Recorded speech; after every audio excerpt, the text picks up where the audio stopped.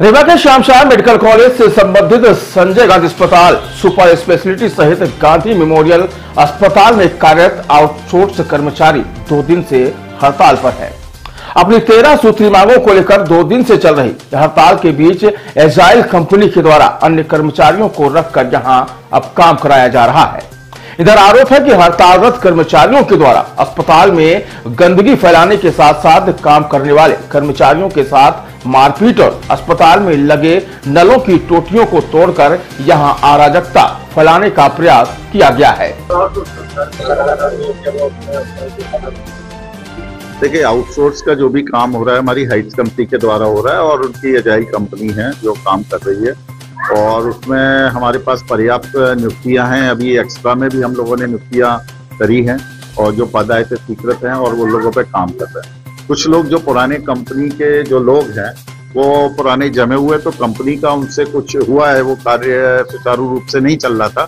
उन्होंने कुछ एक्शंस लिया कुछ पदाधिकारियों के खिलाफ या कुछ लोगों के खिलाफ। उसके लिए उन लोगों ने सबको इकट्ठा करके कुछ हड़ताल या इस टाइप की अव्यवस्थाएँ फैलाना का काम किया है। और सुबह भी जैसा पता लगा है, उन्होंने हमारे अस्पताल की नल टोंटियाँ तोड़ी हैं पानी की गंदगियाँ खुद आके उन लोगों ने ही गंदगी, जिन लोगों का काम सफ़ाई का, उन लोगों ने गंदगियाँ खुद फैलाई हैं और लोगों से डराया, धमकाया, मारपीट जैसी भी स्थितियाँ उन लोगों के साथ में निर्मित सी हुई हैं, ऐसा हम लोगों को शिकायतें हैं। और तो ये लेकिन वैकल्पिक व्यवस्था के तौर पर नई भर्तियाँ वो कर रहे हैं और एजाइल कंपनी को पूरा निर्देश दिया गया हाइट्स को कि आप सारी व्यवस्थाओं को मेंटेन करें और उसी का हम लोग देखने के लिए निकले हुए हैं। तो जहाँ तक कि चूँकि उन्हीं लोगों ने, कर्मचारियों ने गंदगियाँ फैलाई है, तोड़फोड़ करी है तो व्यवस्थाएँ बना रहे हैं, लेकिन हालाँकि ठीक ठाक व्यवस्थाएँ हैं, अभी हमें जैसा लगा, हमारा काम सुचारू रूप से चल रहा है, ऐसा कोई दिक्कत आ रही है। जी? पैसे वैसे का जो भी उनके जायज़ हक हैं, जो कंपनी के द्वारा होते हैं, निर्धारित होते हैं, वो सारे उनको मिल रहे हैं और दिए जा रहे हैं। उसमें कोई भी विवाद नहीं है, सिर्फ़ काम का विवाद है, जो काम सुचारू रूप से नहीं चल रहा था और उसके तहत जो लोग काम सही नहीं कर रहे थे या कुछ आ, उनकी वजह से जो काम नहीं कर रहे थे ढंग से नहीं कर रहे थे तो कंपनी का एक्शन है और हमें काम ये सही चाहिए अस्पताल में। साफ़ सुरक्षा सफ़ाई इसमें कोई कंप्रोमाइज नहीं करेंगे हम लोग और किसी भी स्तर पर कंप्रोमाइज नहीं करेंगे। हम कंपनी को भी नहीं बख्शेंगे और कंपनी से काम करवाना हमारा काम है। कंपनी जैसे काम करवाए उसका काम है। जिन लोगों हमारे पास आए हैं और उन लोगों को भी थाने में दिया जाएगा और उसके तहत इन लोगों के खिलाफ कार्रवाई की जाएगी। कुछ नई भर्तियाँ हुई हैं, जिन लोगों को एजाई कंपनी ने दिया है और वो लोग भी इसमें कुछ शामिल हैं। तो उन लोगों को भी हो सकता है कि कंपनियाँ उन लोगों को भी यहाँ से अपनी सेवा से करें, क्योंकि वो नौकरी के लिए उन लोगों के पास गए थे, पद नए निर्मित हुए थे। उनकी मांग थी कि हमें नौकरी दी जाए, घूम रहे थे।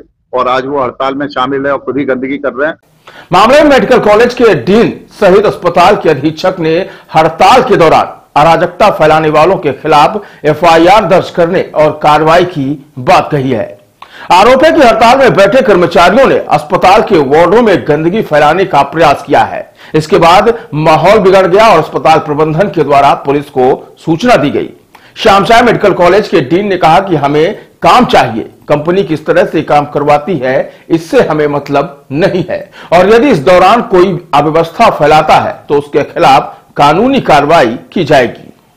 इधर हड़ताल पर बैठे कर्मचारियों ने कहा कि उनका शोषण किया जा रहा है और वह अपनी मांगों को लेकर कई बार कंपनी सहित अस्पताल प्रबंधन से भी बात कर चुके हैं, लेकिन उन्हें केवल आश्वासन मिला। हड़तालरत कर्मचारियों ने कहा कि यदि उनकी मांगों को पूरा नहीं किया जाता तो वह अनवरत भूख हड़ताल पर बैठे रहेंगे।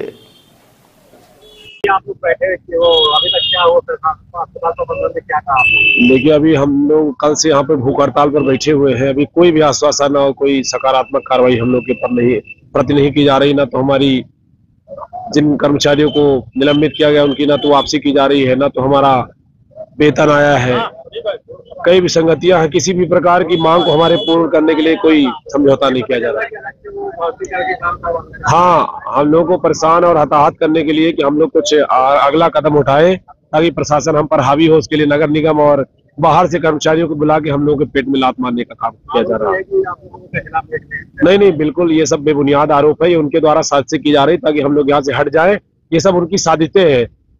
कचरा फैलवाना, टोटी टुरवाना नहीं देखिए ये जो प्रदर्शन है ये उस ठेका प्रथा और मनमानी का प्रदर्शन है जो विगत कई सालों से हम लोग उसकी मनमानी और तानाशाही के नीचे दबे कुचले शोषित पीड़ित मजदूर की तरह काम करते आए हैं और आज अगर आवाज़ उठा दिए तो हमको बाहर का रास्ता दिखाया जा रहा हमारी पेमेंट और हमारी कल रात को प्रबंधन चिकित्सकों से कुछ बात करनी थी क्या बात हुई है? नहीं कल प्रशासनिक अधिकारी दंडाधिकारी और हमारे संस्थान के मान्य अधीक्षक महोदय द्वारा यहाँ आए, उनके द्वारा आश्वासन के तौर पे तो हम नहीं कह सकते, पर उन्होंने, उनके द्वारा एक सहानुभूति दी गई कि हम आपके साथ हैं तो बिल्कुल हम कहते हैं, हम तो हम भाई, हम आपके आपके है ही हैं।